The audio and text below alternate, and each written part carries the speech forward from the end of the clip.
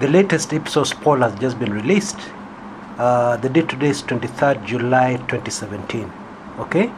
Now, uh, this poll has been long awaited by a lot of people who are following things closely on the ground and are waiting to see the poll confirm the movements and the shifts and uh, what has been happening on the ground, well, according to them. Because according to me, there's been no shift. Okay? Uh, yes, in one or two instances, there have been uh, people coming out strongly in support of one side. But according to the surveys and the polls I've done, uh, right from the beginning, there's only one county in my polls that has changed. Yeah, uh, the rest have been fairly straightforward over the last two months. Okay, but I'm talking about other people. Yeah, they were waiting for these polls uh, anxiously, but they've been very disappointed. Where have they been disappointed? Because it has not reflected what they think they see happening on the ground up to this juncture, I'm not even talking about the Kumekucha polls. I'm not talking about the close uh, eye I've been keeping on what's happening on the ground. I'm just talking about other analysts, yeah, uh, who in recent months have stopped calling me crazy, have stopped calling me uh, you're out of your mind, have stopped telling me I'm dreaming. I'm talking about those guys, and they've been very disappointed. Now, what did they expect to see? What all these people were expecting to see was a neck to neck poll. You know, a poll indicating that both candidates are neck to neck. Uh, my poll, of course, is very different. I shall handle that towards the end of this recording. But for now, let us uh, uh, keep to those guys who, who are more realistic. Can I just put it like that? More realistic than Kumekucha. Now, for the first time, the most interesting thing about this poll is that for the first time, uh, we are seeing the president's point drop yes it has been consistent. What has been happening actually something very interesting. The president has remained more or less consistent okay? But what has been happening the the the, the score of uh, Raila Odinga of NASA has been changing drastically and dramatically okay? But now for the first time we are seeing the president drop the polls okay? That is significant. Sneak significant because it has not happened in the recent past okay now, the polls put, uh, uh, they give President Uhuru Kenyatta 47% of the Kenyans would vote for him if the polls were held today. And Raila Odinga, 43% would vote for him. Okay? Now, at 47%, uh, the president has dropped from 48, and at 43%, uh, Raila Odinga has dropped, has, has climbed from 42 okay just one uh, percentage point. Now bear in mind this one percent is huge. Okay let's let's not get that wrong eh? this one percent translates to a lot of votes. Okay so uh, i you know i had an argument from somebody shortly before i started making this uh, recording and they're saying 1% ni kidogo sana. Hiyo ni kura kama mbili tatu. Nothing like that. This is a sizable amount of votes now, those who have been listening to this channel for quite a while know my beef with these uh, presidential polls. I have no beef with county polls, uh, polls that focus on a particular county. Those ones tend to be fairly accurate. Yeah, if somebody knows what they're doing, they tend to be fairly accurate. But for some reason, presidential polls have just puzzled me.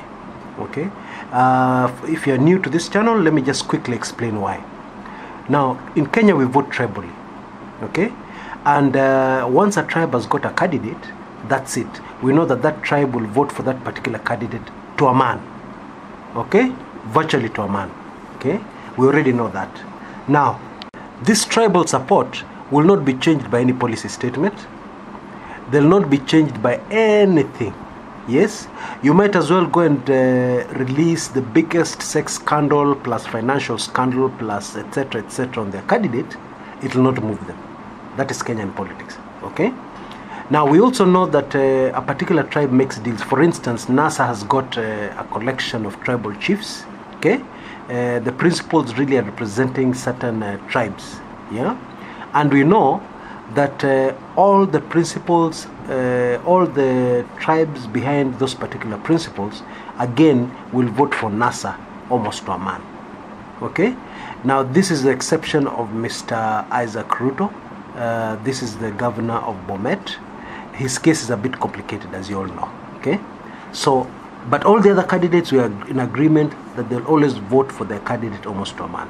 Okay, now explain to me how we get into a situation whereby one candidate is lagging behind, that is NASA lagging behind, and then suddenly they start gaining. Yes, they lag behind uh, by over 10 points, yeah, at one, uh, at one juncture in these polls. And then suddenly, as we head nearer to the elections, they start catching up. Explain to me where those votes come from. Yeah, because we know that the tribal support of each particular candidate is cast in stone. It does not change. Okay, uh, yes, 5% is not a bad number for undecided voters. 5% would be those voters voters in the border, borderline, yeah? Uh, the few voters in Kenya who don't vote along tribal lines, the few voters in Kenya who, for one reason or the other, that do not fit neatly into the tribal compartments uh, the politicians have created for us. Okay, it's as simple as that. So tell me, how does a candidate gain in such a scenario? That is what is uh, puzzling. Okay, now in this latest poll, there's a difference of four points between uh, uh, Jubilee and uh, the NASA presidential candidate. Okay, um, that is what we're being told is the situation today. So if uh, elections were held today, that is what would happen. The president would win re-election. That's what actually the polls are telling us. Now my polls are completely different. Okay, uh, I am on the ground. I have people on the ground countrywide. Yes, uh, I may be a bit thin as far as the northeastern province is concerned, but uh, the northeastern province, uh, the votes there are negligible. Yeah, the rest of Kenya, I'm fairly confident that I know that what I'm telling you is happening on the ground is there, and even northeastern, I'm fairly confident. Okay, it's just that uh, if push was come to if uh, push came to shove, I would admit I'm a bit thin there. Okay, now what my polls show is that the NASA presidential candidate Raila Odinga has a five point lead on President Uhuru Kenyatta. Okay? In fact, uh,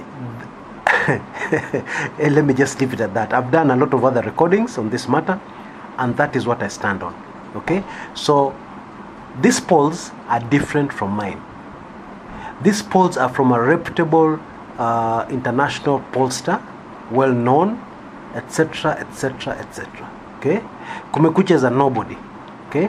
So I guess I don't know what I'm talking about, and I guess my polls are wrong. So let's just leave it at that. Until next time, this is Chris Kumekucha.